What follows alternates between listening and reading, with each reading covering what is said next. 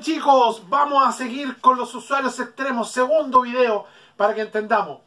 Comprender a los usuarios extremos y enamorarnos del problema de nuestros usuarios extremos es el trabajo principal que tienen estas tres próximas semanas. Poder descubrir usuarios extremos, luego poder comprender cuál es su problema, entenderlo y definir su problema y armar el arquetipo de cliente luego de haber visto que muchos de ellos tienen problemas en común. Es nuestro trabajo que vamos a hacer. Entonces, muy, muy importante, vamos a ir a encontrar a los megatop. Básicamente los que tienen el problema y son los que están buscando solución. Con ellos vamos a desarrollar innovaciones y ojalá poder descubrir lo que se llama la curva S, que vamos a ver en este video. Veamos.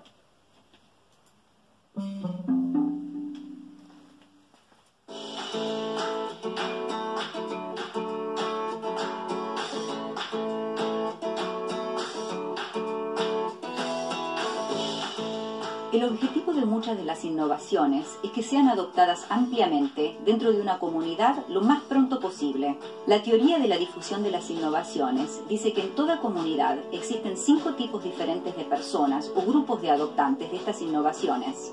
Estos grupos pueden ser categorizados por el tiempo que tardan en adoptar una innovación específica o un nuevo comportamiento. Para identificar cuáles grupos ya han adoptado la innovación y a qué grupos se deben dirigir nuevos mensajes de mercadeo, los investigadores de mercado miden el porcentaje de gente en una comunidad que ha adoptado una innovación en diferentes momentos. Esto permite a los investigadores medir la tasa de adopción o el tiempo que tarda la innovación en ir de un 0 a un 100% de la comunidad.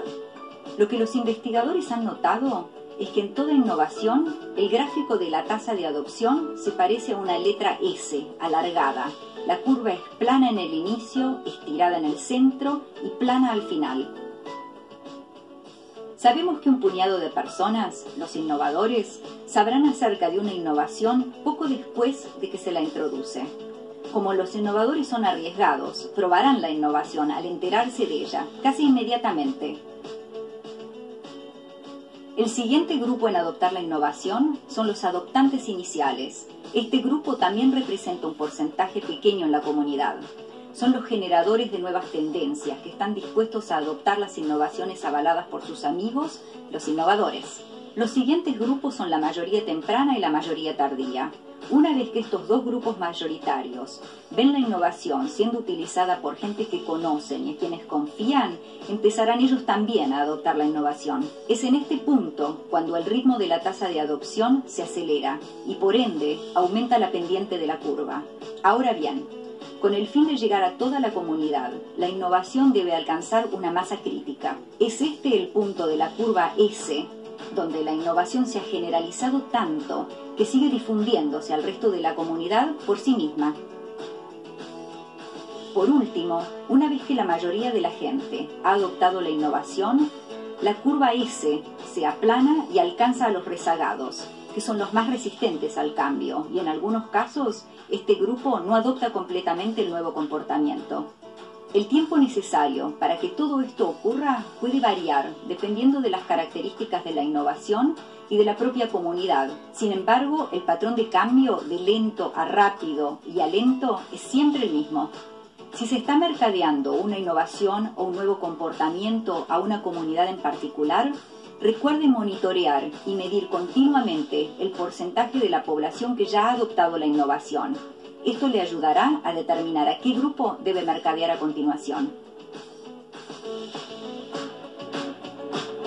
Muy importante las métricas, chicos. Muy importante las métricas de tu negocio.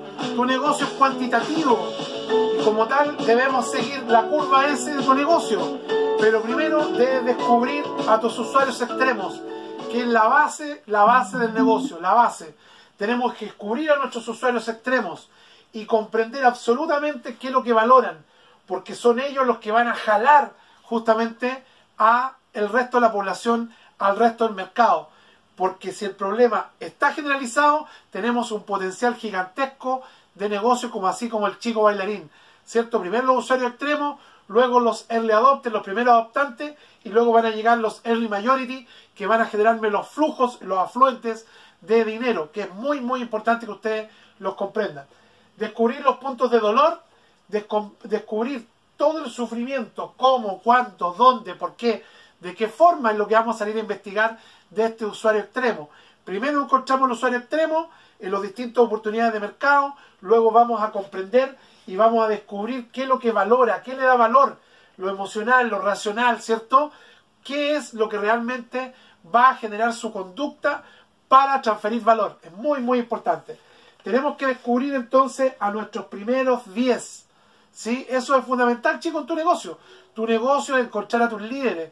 Tus líderes te van a traer al resto de los clientes. Te van a traer a los 100 y luego los 100 van a traer a los 1000 y tu negocio va, va eh, a despegar. Muy, muy importante. Entonces, tenemos que armar nuestra comunidad, muy, muy importante. Luego nos van a desarrollar la marca porque encontramos a nuestro primer líder y detrás de los líderes vienen los seguidores, muy, muy importante. Y luego nos van a generar el cash flow, eh, la caja, ¿cierto? La eficiencia eh, eh, de nuestros flujos de ingresos. La comunidad, la marca y el cash flow, los tres motores del negocio. Motor pegajoso significa que la persona vuelve, ¿cierto? Y cuando vuelve, empieza a volver con más gente, ¿cierto? Motor viral. Y finalmente, el motor de ingreso que me genera el nivel de eficiencia. Hay explicaciones para que ustedes entiendan y justamente primero empatizamos, empatizamos, ¿cierto?, con nuestro producto mínimo viable a partir de la compresión del problema, motor pegajoso, la recurrencia vuelve, ¿cierto?, motor viral, el boca a boca, luego genera la eficiencia operativa, porque con dinero puedo empezar a escalar mi negocio y empezar a diversificar nuevos mercados. Entonces, primero comprendo el dolor, ¿cierto? Luego desarrollo, ¿cierto? Una solución a mi usuario extremo, mi usuario extremo van a ir generando el motor viral y van a empezar a llamar a nuevas personas y luego vamos a empezar a generar la eficiencia cuantitativa. Todas las métricas, ¿cierto?, son muy importantes. Tu negocio son números y como tal debes comprender cómo va a ser la curva S de tu negocio. Y lo que vamos a hacer, lo mismo, vamos a a encontrar líderes en todos lados. Líderes como colaboradores, líderes como proveedores, líderes como potenciales inversores, líderes como potenciales clientes, para que empecemos a pensar sistémicamente y ampliar nuestro círculo de influencia y empezar a agregar todo el valor y capturar todo el valor que el mercado tiene para ustedes, tiene para tu negocio y para que aprendas a desarrollar todo esto que el 5% de la población lo tiene muy claro y ahora tú estás teniendo conocimiento y habilidades de negocio y vas a aprender a desarrollar conocimiento y habilidades de mercado. Vamos que se puede el próximo video, vamos con todo, si no, ¿para qué?